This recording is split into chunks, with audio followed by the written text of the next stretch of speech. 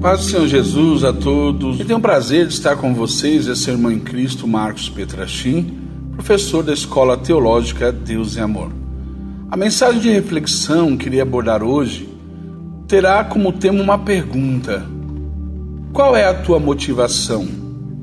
Está baseado no Evangelho de Jesus Cristo, segundo escreveu Lucas, capítulo 12, do versículo 16 ao versículo 20, que diz: e propôs-lhe uma parábola, dizendo: A herdade de um homem rico tinha produzido com abundância, e arrazoava ele entre si, dizendo: Que farei? Não tendo onde recolher os meus frutos. E disse: Farei isso. Derrubarei os meus celeiros e edificarei outros maiores e ali recolherei todas as minhas novidades e os meus bens. E direi à minha alma: Alma, tens em depósito muitos bens para muitos anos. Descansa, come, bebe e folga. Mas Deus lhe disse: Louco, essa noite te pedirão a tua alma, e o que tens preparado? Para quem será? Vemos nessa parábola contada por Jesus um homem que a sua motivação era ter. Até que chegou um dia em que ele conseguiu ter tudo aquilo que ele queria. E em meio a tanta fartura, ele chegou a dizer, em outras palavras: Consegui conquistar tudo o que eu queria. Agora é só gozar a vida quando de repente ele ouviu uma voz dizendo: Ei, não vai dar tempo para você gozar a vida, porque a sua vida acaba hoje. Qual tem sido a motivação da nossa vida?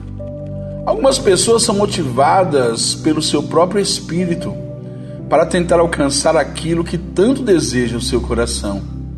Quando somos motivados pelo nosso espírito, temos a tendência de fazer somente aquilo que queremos que nos faz bem e que preenche de alguma maneira o nosso ego. Porém, a proporção de erro é muito grande quando somos movidos pelo nosso eu e menosprezamos a vontade de Deus. O verdadeiro cristão não deve mais ser motivado pelas suas vontades, e sim ele deve ser guiado pelo Espírito Santo. A sua motivação é fazer aquilo que agrada ao Senhor, para que através de suas ações o nome do Senhor seja glorificado cada dia mais perante os homens. A herdade desse homem cresceu, mas ela não cresceu para que ele guardasse e pensasse somente em si. Quem sabe Deus não queria que ele derrubasse os seus celeiros e construísse celeiros maiores. Talvez Deus só queria que ele dividisse os seus frutos com os órfãos, com as viúvas, com os pobres e necessitados. Mas como esse homem poderia saber se a sua motivação sempre foi em ter, sempre foi fazer a sua vontade sem se preocupar qual é a vontade perfeita de Deus? Quando somos movidos pelo Espírito Santo, que é o Espírito de Deus, nós somos conduzidos para ser ganhadores de alma, para ganhar almas para o reino de Deus. Somos conduzidos para amar o nosso próximo como a nós mesmos. Somos conduzidos a realizar a obra de Deus voluntariamente, por amor, sem interesse ou reconhecimento algum. Porque tudo que é feito, nós fazemos para a glória do Senhor.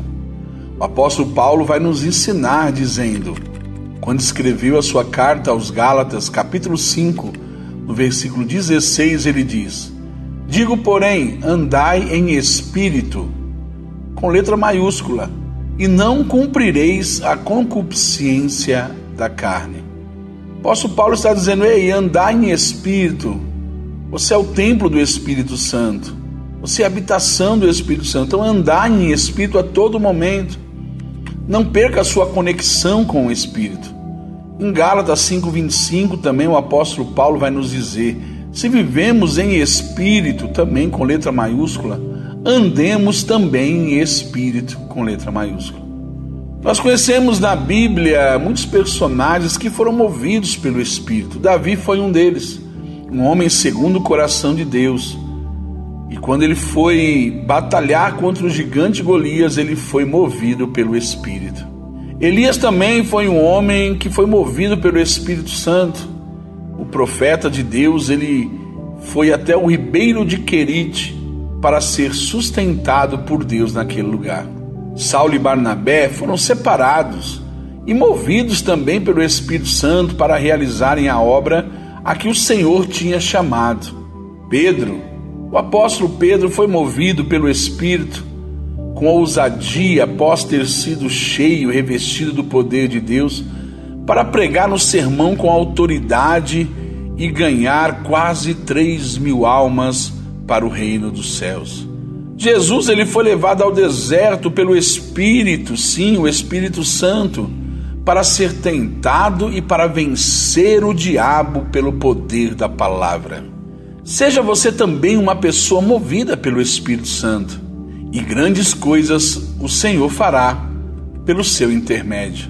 Deus abençoe vossas vidas e que a graça e a paz de Cristo permaneçam com todos vocês.